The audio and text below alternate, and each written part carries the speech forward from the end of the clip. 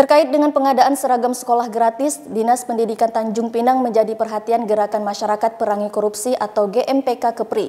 Mengenai hal tersebut, tim Liputan TV Kepri mewawancarai khusus Ketua GMPK Kepri. Berikut liputannya. Ini kan masalah seragam sekolah, kegiatan ini kan dari tahun 2019.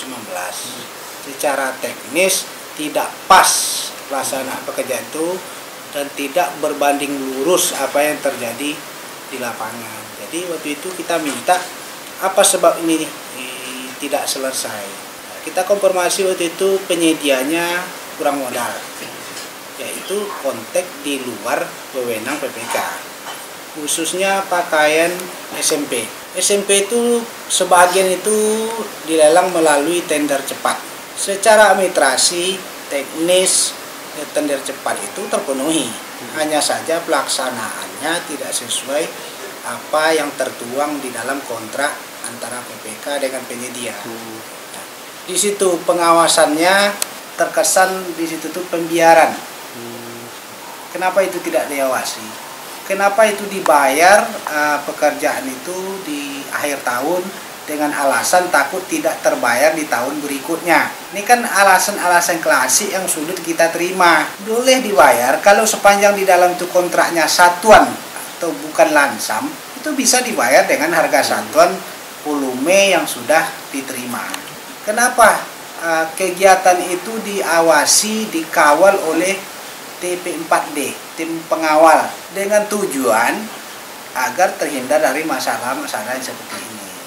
SD itu ada permintaan untuk memberdayakan UKM.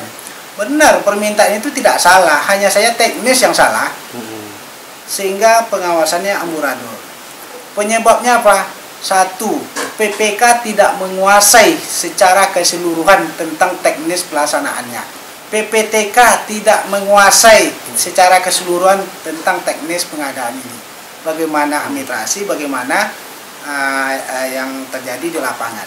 Kontrolnya kurang sekali kita berharap uh, setiap anggaran pemerintah itu dilaksanakan apa pun bentuknya, apa pun barangnya, kontrol ini jangan lepas. Hmm. Apalagi di Pepres sekarang ini eh, nomor 16 2018 itu pemeriksaan barang itu ada porsinya ada di PPK. Hmm. Pertanyaan juga, tapi ini dibolehkan dalam aturan PA merangkap sebagai PPK.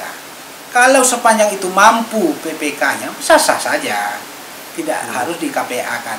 Tetapi kenyataan di lapangan tak mampu kan. Hmm. Kalau mampu tidak akan terjadi eh, masalah yang berlarut-larut seperti ini. Pak Bapak melihat ketidakmampuan PPK-nya ini dari dari mana? Tidak menguasai aturan tentang pengadaan barang dan jasa. Pertama masalah teknis. Dia lebih banyak mempercayakan menerima informasi dari bawah. Belum tentu semua itu benar laporan-laporan itu. Saya pernah berpesan ke kadisnya, tolong benahi dinas pendidikan itu. Setingkat kabit sampai ke kasihnya itu itu bekerja seperti paku di toko baru masuk. Jadi dia bekerja itu nunggu perintah. Tidak bisa mencari ide-ide berlian hmm. yang bisa menopang untuk kegiatan di dunia pendidikan itu sendiri. Hmm. menunggu petunjuk selalu itu. Untuk berkonsultasi kita punya ULP bahkan sudah dibentuk lagi badannya sekarang UKPBJ boleh berkonsultasi di sana. Hmm. GMPK itu memantau dari November. Hmm.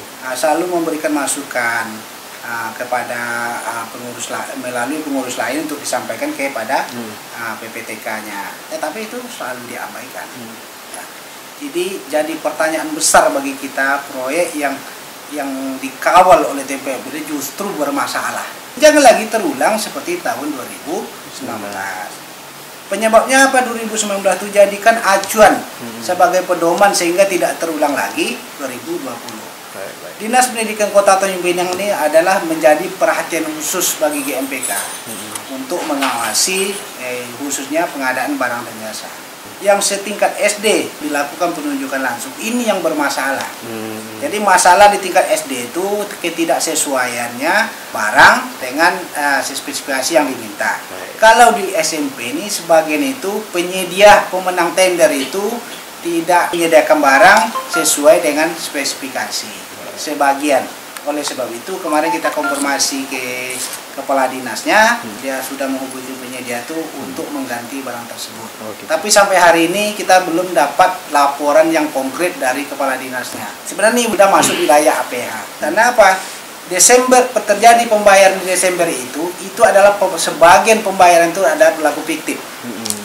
Karena barang belum ada. Itu dilakukan. Apa pun alasannya tidak ada su- suatu apa pun yang membenarkan itu. Jadi saya berharap dinas pendidikan ini kasus-kasus yang tahun sebelumnya tidak terulang lagi.